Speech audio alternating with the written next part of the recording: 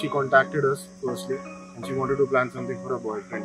Now, uh, this proposal is going to happen. He has no clue.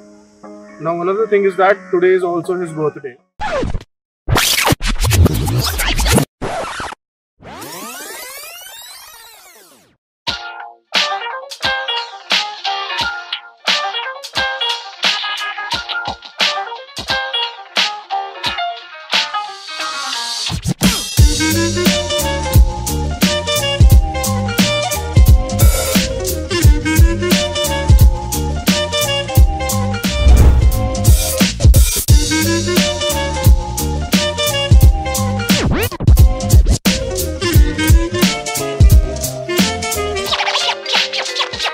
Time होने वाला है। Now we are ready with everything almost everything dances are a bit late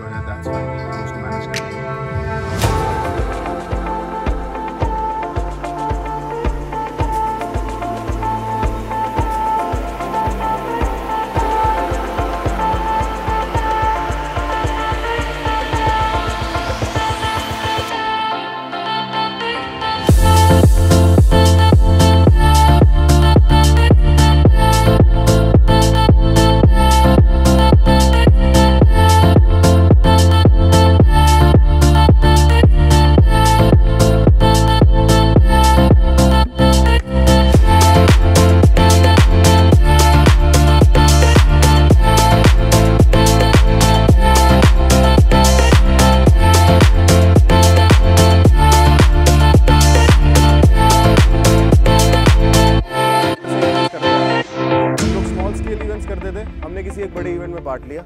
हमने वहाँ पर जाके देखा कुछ समझा कुछ किया। Then we came back home after that again in June हमने दोबारा एक एग्जीबिशन में पार्ट लिया।